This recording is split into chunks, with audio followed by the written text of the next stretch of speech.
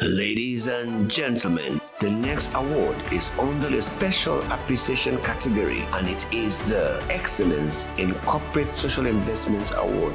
The Excellence in Corporate Social Investment CSI Award recognizes an active involvement of an organization supporting the Nigerian community or a community project in South Africa or through its partnership with a Nigerian charitable, voluntary or community organization that has a qualifiable position effects on the community over the last years.